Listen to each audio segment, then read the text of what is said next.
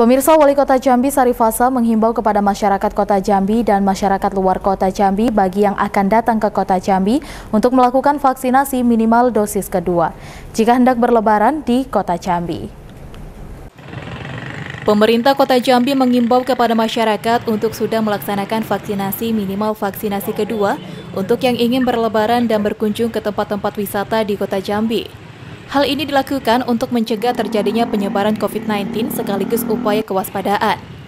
Fasa juga menyampaikan bahwa bagi keluarga yang akan datang ke kota Jambi juga harus dipastikan dalam kondisi sehat. Kemudian Fasa juga meminta agar bagi masyarakat untuk selalu menjaga keamanan baik rumah maupun lingkungan sekitarnya selama lebaran kali ini. Eh, saya menghimbau kepada seluruh masyarakat kota Jambi yang akan melakukan perjalanan kedua daerah yang pertama pastikan dahulu sudah melakukan vaksinasi ya karena kenapa uh, syarat untuk masuk hotel dan lain sebagainya juga adalah uh, minimal vaksinasi yang kedua. Sandi, Jek TV, melaporkan.